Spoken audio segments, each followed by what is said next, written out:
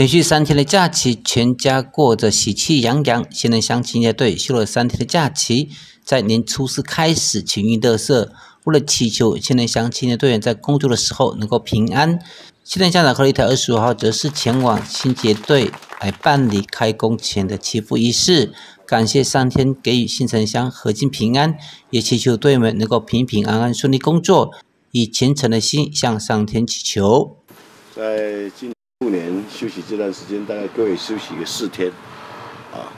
我想大家都非常的辛苦。今天就要开始要动工，而且今天热色量会比较多一点，好，尤其各位在执行工作的时候啊，要注意车辆以及后车的呃随车人员的安全啊。以及碰到老弱妇孺的时候，希望后车随车人员要帮忙协助他们啊。为维护呢，我们新义乡所有的这些环境维护的整洁、热色清净的工作啊。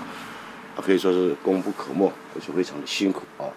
那今天是这个开工啊啊，我们希望祈求啊啊诸神菩萨啊保佑啊我们地方平顺以外，也希望我们所以这一年当中啊在工作上面呢都能够事事顺遂啊，人员都能够安全，都能够平安啊，让我们相亲呐啊今天呢因为各位的努力，过个干净啊快乐的一个年啊啊，希望大家呢尽心尽力啊，今天呢。啊工作要给他完成，可能工作量会比较大一点，啊，但是希望啊大家呢认真的工作，啊把工作来给他完成，啊辛苦大家，新年快乐。校长何立台表示，清洁队守护着乡间内所有的清淤以及消毒的工作，为了就是要环境清扫的干干净净。年初四虽然是相当的寒冷，不过还是要把这三天每一个家户所堆积的垃圾全部清出来，也希望大家做好分类的工作以及清扫家园。共同守护新人乡美丽的城市。